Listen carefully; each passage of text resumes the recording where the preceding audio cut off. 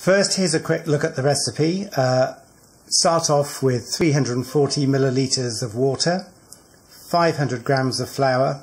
I tend to mix my flour 75 grams of wholemeal and uh, 425 of white, but you can make it whatever mix you like. Um, you have to have fed your starter probably four or five hours before. Hopefully you can see my Susan is very bubbly and ready to go and you'll need 70 grams of starter and just 11 grams of salt, that's it. Get a mixing bowl and put your water in first. Bottled water is good or uh, filtered water. Don't use it straight out the tap if you can.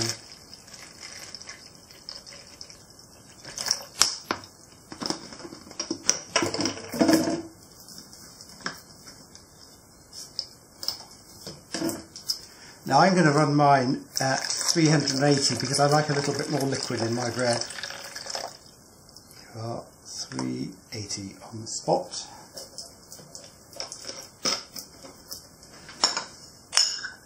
Now put in Bob or Susan or whatever you call it. Oh, look at that.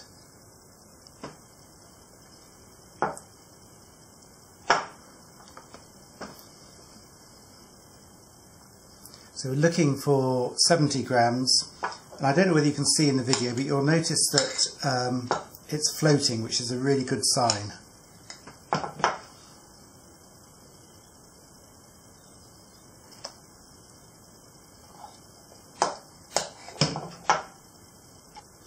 I fed my starter uh, about four hours ago with 50 grams of flour, 50 grams of water, so it's at one to one. Another five grams and we'll be done.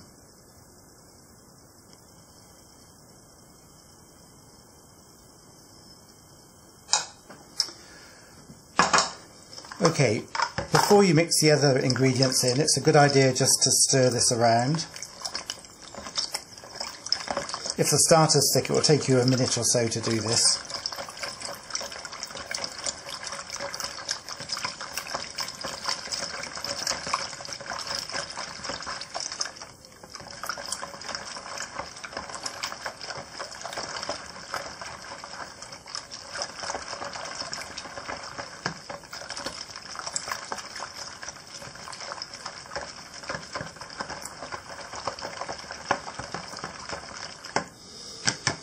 Actually, you could also put the salt in. This is 11 grams of salt because it's a good idea to get it mixed thoroughly in the water.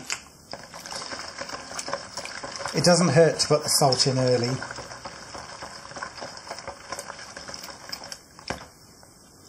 Now, back on the scales and start adding flour.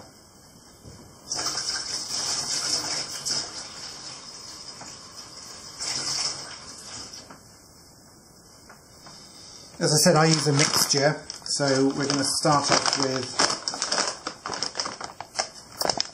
70 grams of stuff. Uh, what am I doing? 75 grams of wholemeal.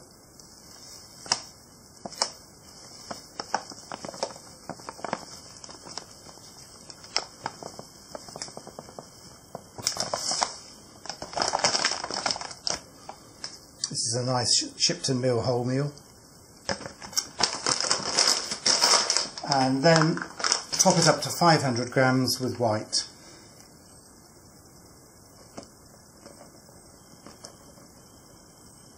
Bit more.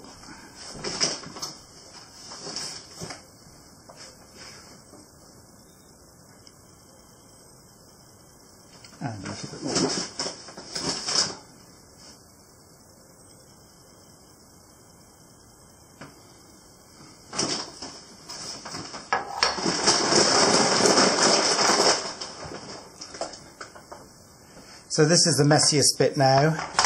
Literally just with one hand, thoroughly mix it. You don't need to knead it. All you've got to do is incorporate all the water with the flour.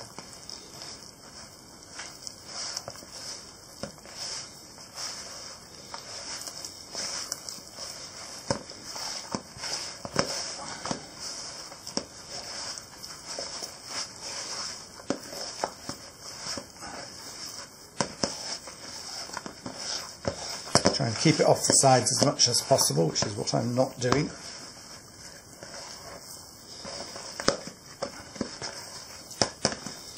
And that's it now.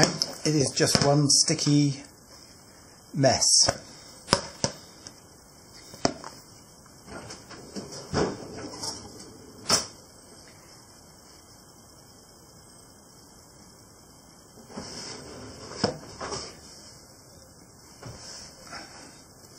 I'm going to scrape down the sides using my special tool.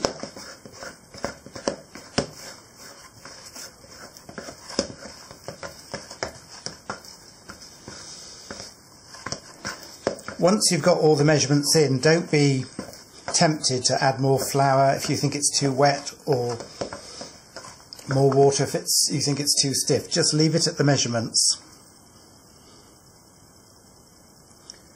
With 340 millimeters of water, you're going to have, be having bread with a hydration of 70%, which is about ideal for a whole meal.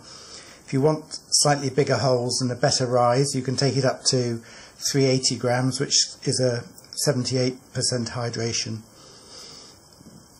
That's it. Cover it and leave it for two hours. If you've got a shower cap, put that over the top or a damp tea cloth. I happen to have a saucepan lid which fits perfectly over the top.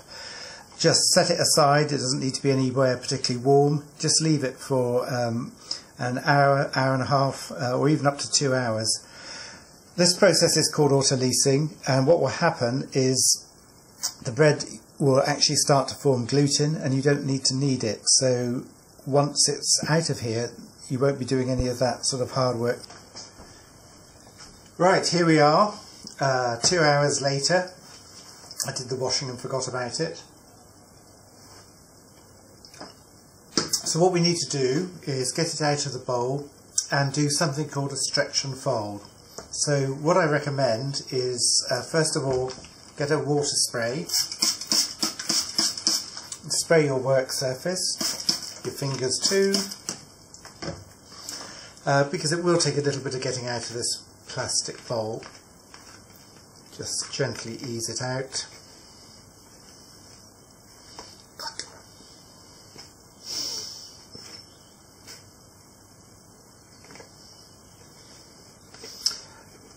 Your dough, if you've used 340 millimetres of water, won't be quite as wet as this. It's almost out. Try not to tear it and put it into pieces. So, got a clean bowl, pretty clean bowl, and a lump of dough.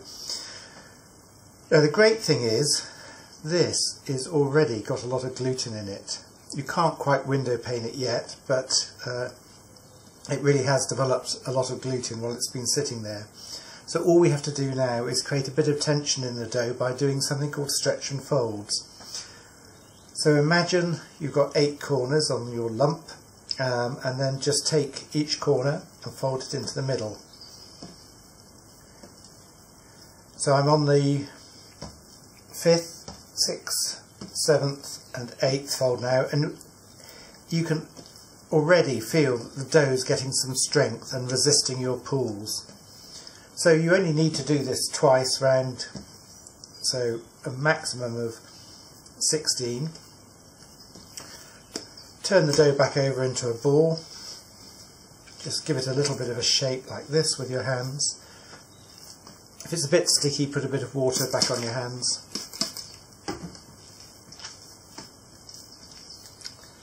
And now what I'm going to do is I'm going to wash the bowl out and put some olive oil in it and then return this to rest for 45 minutes. So here we are back. I've cleaned the bowl out, a little smear of olive oil and now you'll notice after I did the stretch and folds, and I should have mentioned it, that I turned the bread over. So this was the face, this was the face that was sitting on the work surface and this is the surface that will be the top of the bread when it's made. So I'm now going to put it back in exactly like that so this will be the top of the bread when it's made. Cover it back up, 45 minutes later come back and we'll have another go.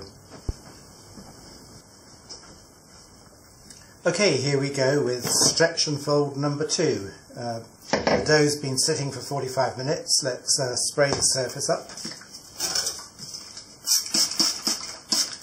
On your fingers. Turn it out onto the work surface. And you can see this time the dough's got a lot more consistency. It's uh, softer, so very simple to stretch and fold. This time it will probably need, well it feels strong already so I'm not going to go any more than two times round and possibly the next stretch and fold you do you might not even be able to get round um, twice, just once will be enough. Handy little tool just for cleaning off the moisture and then just stroking the bed to give it a little bit of attention.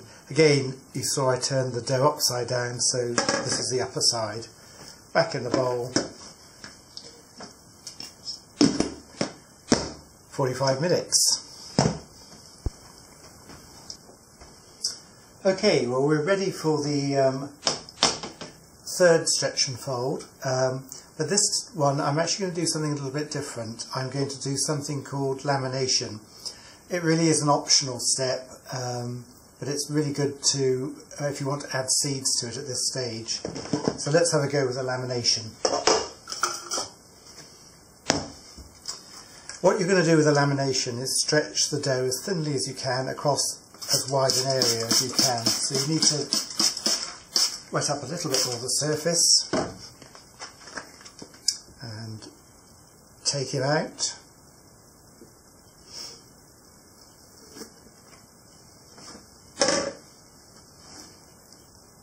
And now just stretch him or her.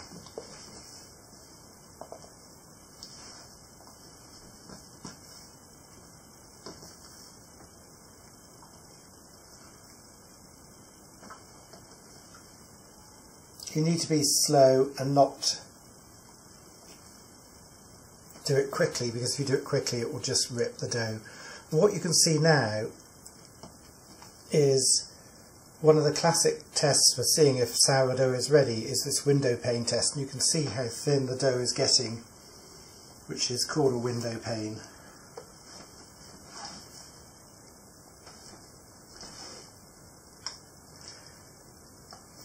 Now while I was waiting for it, oh just tore a little bit there, where while I was waiting for it to um, prove in the basket, I got a few sesame seeds and toasted them. What I'm going to do now is, while this is all stretched out, sprinkle the sesame seeds on it.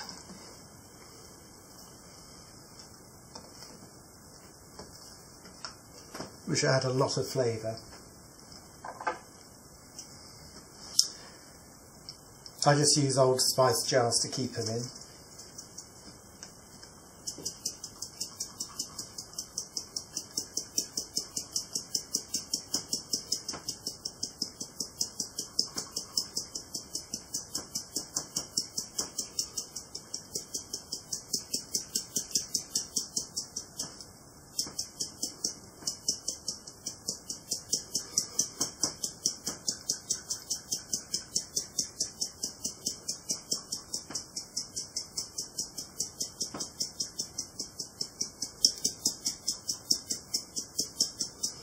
You can easily put mixed seeds, pumpkin seeds. I put fig in. Figs are really beautiful at this stage. And pumpkin seeds. Or you can buy uh, mixes of seeds from Shipton Mill.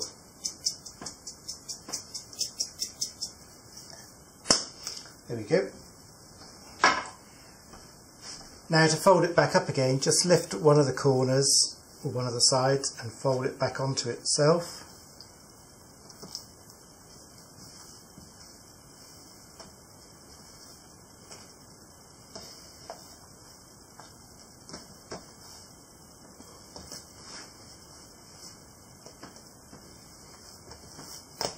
then back over to the other side and round it back up into a ball again trying to put a bit of surface tension onto this skin at the top.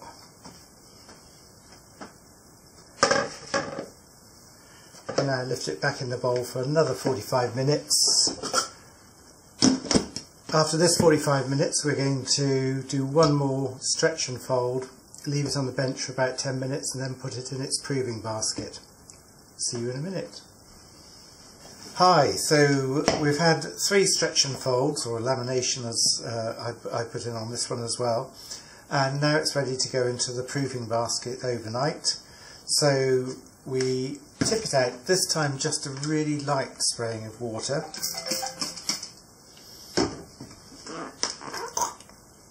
Because what we want to do is put quite a lot of tension into it.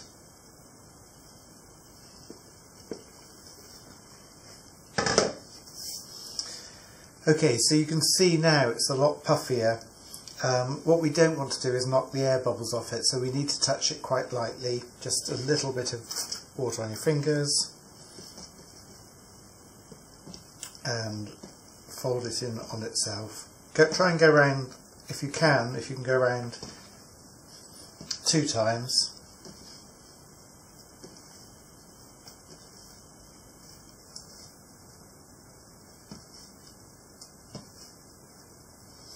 Now gently flip it over. And one of the reasons why you don't want a lot of water is you're going to want to put some surface tension in it again. So just, I'm going to put a little bit of water on my hand so it slides. Literally just round the back, cup your hands and drag it forward. You'll see the skin become tight across the top. That's what you're looking for.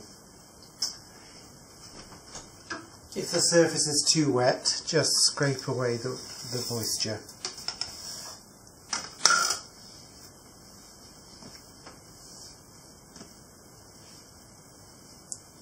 Here we go, that's beautiful. Um, now leave it on the bench for five minutes, you don't need to cover it, and go and get the proving basket ready. So you take your proving basket and you flour it. Be use a liberal amount of flour. I use a mixture of rice flour and ordinary white flour. Make sure you get it into all the cracks. You can smooth it round with your finger if, if you can't get in all of them.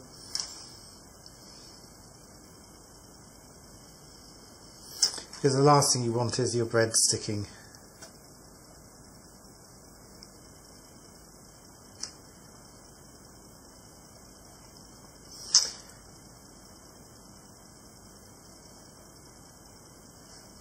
Don't bang it down on the bench, or the flour will fall off it. Uh, now I'm going to add a bit more surface tension to this again, just one more time.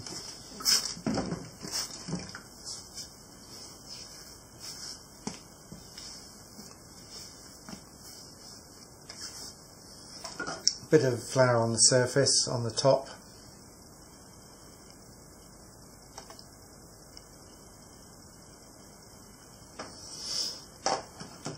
Now this is the top of the bread remember so what we want to do is take this and reverse it into the proving basket.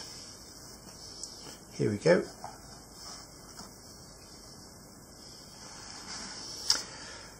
Now that's ready to have uh, a lid put over it and leave it overnight. Bake day, here we go. So last night, um, just before I went to bed, I put the um, basket in the fridge. Um, it's been in all morning and it's uh, ready to bake. As you can see it's risen about 50%. Uh, you could leave it out a bit longer if you wanted uh, but this is, this is ideal. So first thing we do is turn the loaf out onto a piece of baking paper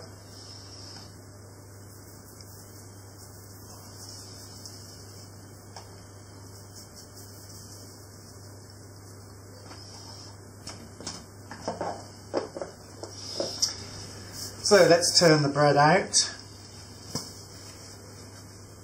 Straight out onto the baking tray. Clean off the excess flour. A bit of flour doesn't hurt, but it's nice not to have great big chunks of it. And now this is the most important thing, is scoring the loaf. There are lots of ways of doing it. I prefer a cruciform and I've got a razor blade to do it. What I've done is I've slightly oiled it so it's going to cut in a bit easier.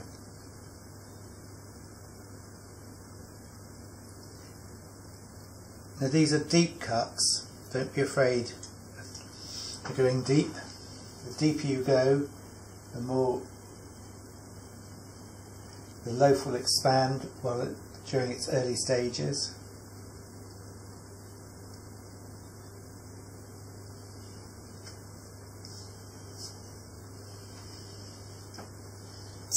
Right, now it's ready to go in. So let's get the Dutch oven out of the oven. The oven's heated at uh, 260 and simply I'm going to scoop it up in its baking paper put it in the Dutch oven hoping that you've still got that in the video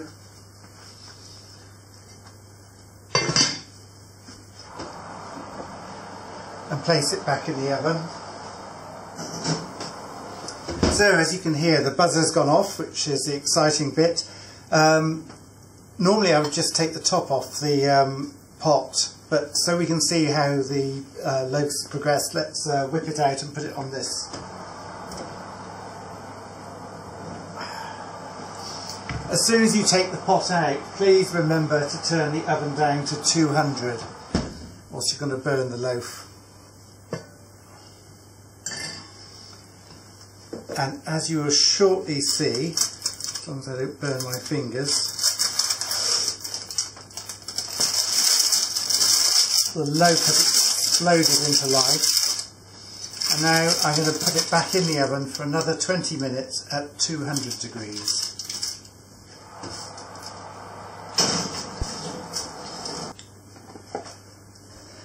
Okay, while you're waiting for the uh, final 20 minutes on the bread, uh, make sure you give your uh, banneton a quick scrub out uh, while the flour is still wet because you don't want it baking on the side.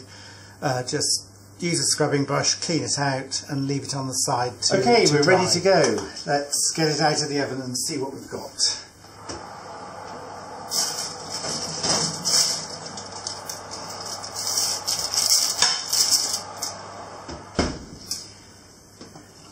Looks a beautiful loaf just starting to colour up. It may need a couple more minutes yet. Oops, gloves off the thing.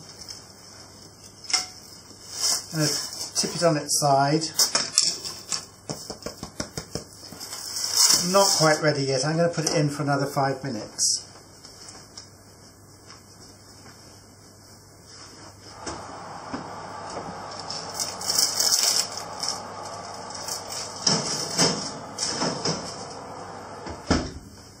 You get a rough idea. Um, you get a rough idea whether the loaf's ready when you uh, take it out of the oven. If you open the door and get a rush of steam in the face, uh, then you'll know that it needs a few more minutes.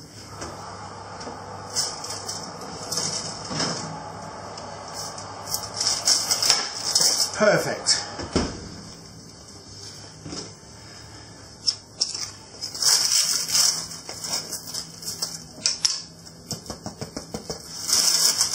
Just right.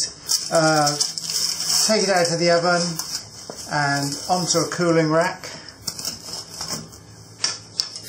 And it's best to leave it for a good hour before you tackle, tackle it, maybe two hours. Uh, if you start cutting in it now, you'll lose some of the steam and it may collapse a little bit. So please, please just leave it a little bit. Now on the internet there are lots and lots of different recipes, lots of different methods for making sourdough. It really doesn't matter which one you use. What matters is you have one that you know works, and this one has never failed me. And when you want to start playing around with different recipes, take it from here and then add more water, change the flour content, perhaps cooking times, um, different ways of kneading, and then at least you can always go back to one you know will work for you. You don't have to put it on a in, a in a Dutch oven. You can just put it on a pizza dish it's always best to have something over the top of it to, to get it going so you can get this incredible rise and keep the, the, the crust soft. That's it. Hope you have fun. I'm signing out. Cheers.